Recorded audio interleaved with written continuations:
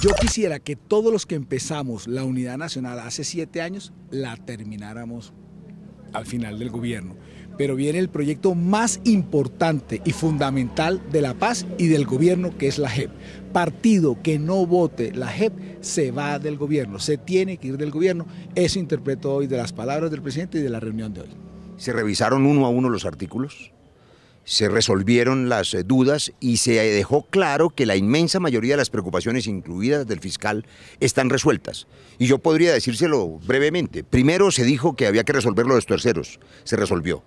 Luego el asunto de los disidentes, se resolvió. Luego lo del delito continuado, se resolvió. Luego lo de los reincidentes, también se resolvió.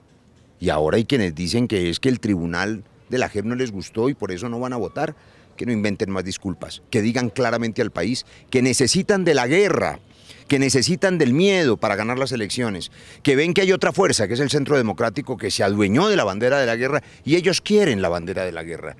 Que sean francos, pero que no sigan inventando disculpas para intentar en el último minuto hundir la paz. Hoy y mañana va a volver a demostrarse que tenemos los votos para salvar vidas.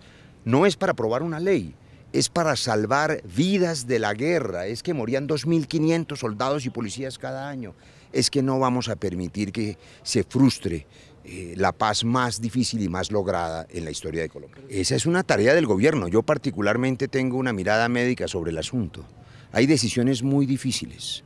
Por ejemplo, cuando hay gangrena en un miembro, llega el momento en que hay que amputarlo, porque si no, corre riesgo la vida del paciente.